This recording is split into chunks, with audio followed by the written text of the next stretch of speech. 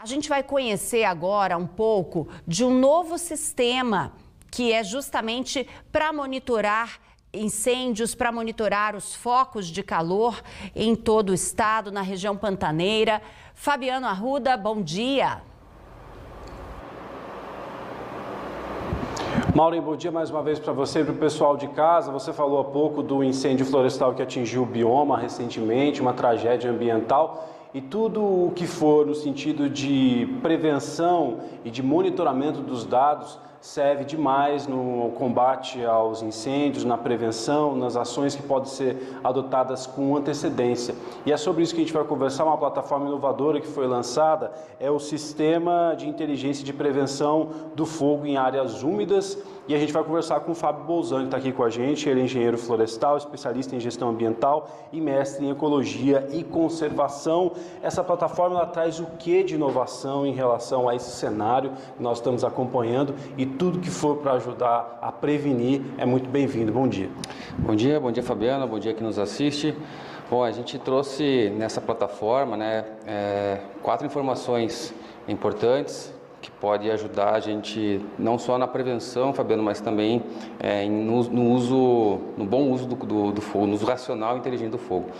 Essas quatro informações, é, o perigo de fogo, então é uma informação meteorológica que pode indicar é, risco de, em caso de uso do fogo né, na, na, pecuária, para queima de pastagem nativa, mas também é, em caso de estar tá ocorrendo um incêndio, é, a gente entendeu como, como pode ganhar, ganhar poder esse fogo. Além disso, a gente tem uma informação de histórico de fogo, então a gente consegue ver aonde que queimou nos últimos 60 dias e entender basicamente o caminho do fogo em direção a algum, algum, alguma região específica que a gente está trabalhando. Além disso, a gente tem a informação da, do uso e cobertura da vegetação ali. Então, eu sei que aonde está queimando, o perigo desse fogo e qual vegetação que ele está sendo está tá caminhando. Então, tem vegetações que propagam mais, tem vegetações que propagam menos, e consigo entender o potencial de conexão é, desse fogo.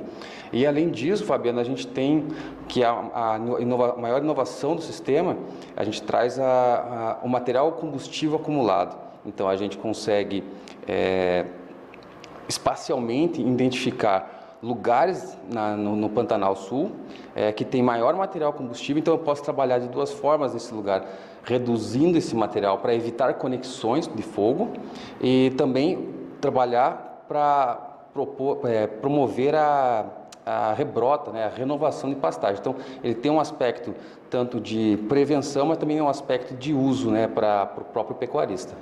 Fábio, como é que essa plataforma ela funciona? Qual que é o sistema que foi usado? A gente vê que tem uma, uma parceria com a LASA, com o Laboratório da Universidade Federal do Rio de Janeiro. Como é que esse monitoramento foi possível chegar, por exemplo, a essa questão do mapeamento do material combustível, que é algo fundamental para quem está combatendo o fogo, saber onde esse material está acumulado com maior frequência? Então, Fabiano, essa, essa informação ela não é, não é uma novidade. A novidade está disponível, né? Então precisa ser bem técnica, uma informação bem técnica, mas agora o LASA conseguiu colocar aí na, na, na ponta dos dedos, né? Ou na, no nosso, na tela do WhatsApp aí que ele consegue ter essa informação.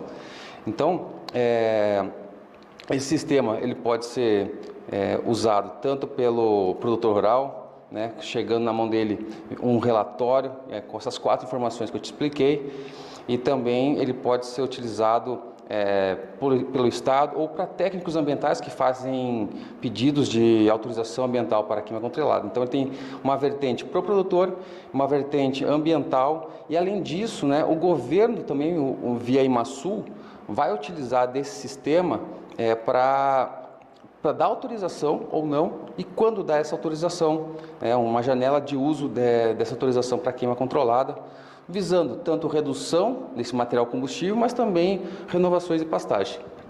Fábio, muito obrigado pela entrevista, pelas explicações. Fábio Bolzan, engenheiro florestal, explicando para a gente sobre esse sistema. São muitas informações, mas o mais importante é essa plataforma conseguir trazer esse conjunto de informações para o produtor rural, para os órgãos de Estado, sempre para ficar de olho nessa questão dos incêndios florestais.